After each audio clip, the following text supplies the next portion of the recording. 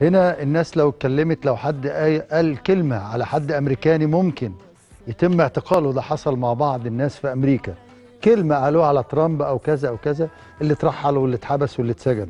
لكن لما يطلع واحد مسؤول رئيس جامعة الجامعة الأمريكية في إحدى الدول يقول لو شفت مسلم اقتله محدش يكلمه عشان هو مش مسلم.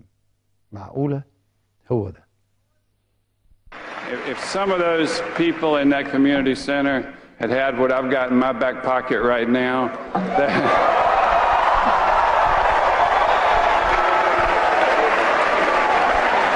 is it,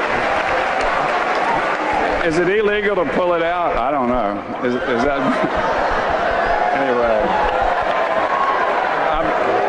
I've, I've always thought if more if more good people had concealed carry permits, then we could end those Muslims before they before they walk in and kill it.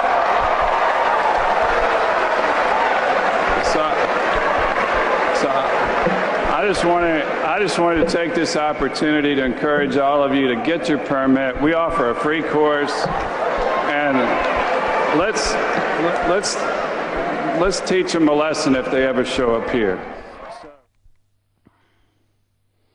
ممكن نعد لكم المشهد ده مرة واثنين وثلاثة وأربعة. قال لك كمان عنده استعداد يعمل تدريب للناس عشان لو جم المسلمين يقتلوهم.